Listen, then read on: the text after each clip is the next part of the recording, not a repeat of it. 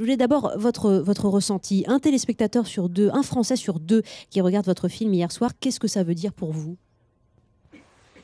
Bah, déjà, nous-mêmes, on l'a re-regardé avec Omar Sy et, François Cluzet. On Mhm. n'a pas résisté nous-mêmes à l'idée de se réunir et à, à re- revivre un petit peu cette, cette aventure complètement dingue qui n'a jamais cessé de nous surprendre et qui nous a encore surpris ce matin en regardant les chiffres parce que c'est un, c'est un film qui, voilà, qui a toujours, toujours eu, on l'appelait les poupées russes. Mhm. À chaque fois qu'on pensait avoir terminé, il se passait quelque chose d'autre et on n'a pas fini non plus pour aller dans le sens du sujet que vous voulez traiter, de l'analyser en long, en large et en travers. Oui, le sujet qu'on souhaite traiter avec vous, c'est c'est ce rapport à la, à la- à la différence. euh, alors que les actes de racisme, d'antisémitisme augmentent en France, on se demande finalement si bah, les Français sont pas plus tolérants et, plus ouverts qu'on ne le pense.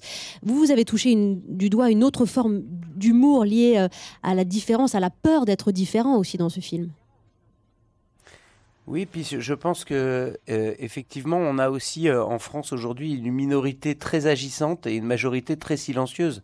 C'est un peu ce que nous dit le chiffre d'hier, une fois de plus, c'est ce que nous avaient dit les chiffres à l'époque. C'est-à-dire que je pense que quand on tire des conclusions rapides en disant est-ce que la France n'est pas raciste ou antisémite, il y a sûrement des franges très dangereuses qu'il faut combattre et qu'il faut, enfin, il faut lutter au jour le jour contre ces, ces formes ignobles qui, qui, qui vraiment nous révoltent tous.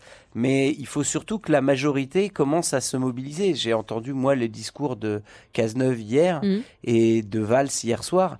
Et je pense que c'est rare de le dire, mais les politiques disent ce qu'il faut dire. Ils ont raison de le dire. Il faut que la conscience soit généralisée. Il faut que la majorité soit un peu plus révoltée parce qu'on on- on accueille ces nouvelles-là et finalement l'une chasse l'autre on, on passe, euh, on passe dessus un petit peu. Mais à chaque fois, elles se rapprochent dans le temps et à chaque fois, elles prennent une forme euh, encore plus dure, encore plus horrible. Quoi. On, là, atteint des, sommets. Donc euh, oui, on se rassure avec ce score et on se dit que la majorité, elle en a un petit peu marre. Mais à un moment, je pense qu'il va falloir le formuler.